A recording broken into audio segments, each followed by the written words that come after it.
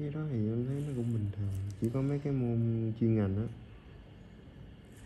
xử lý sóng tín hiệu đồ nó mới nhức đầu.